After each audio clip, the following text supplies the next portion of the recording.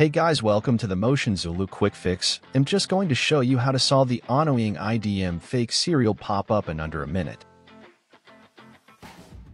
Just press the Windows button and search for regedit, or you can simply press the Windows button plus R to bring up Run, and then you can simply type regedit and press Enter.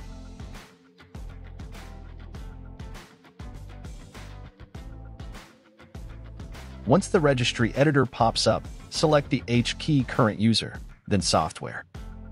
Then select Download Manager. On your right, you are going to see the Check Update VM. Click on it to edit. Then simply change that value of 10 to a 0.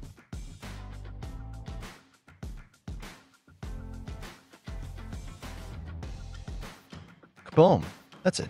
Easy, right? You won't be seeing that pop up anymore. So, what are you waiting for? Hit that subscribe button and show some love to the Motion Zooloo channel. And don't forget to leave a comment I subscribed in the comment section so I can know that this video helped you and I can continue making more videos like this. Thank you for watching and have a great day.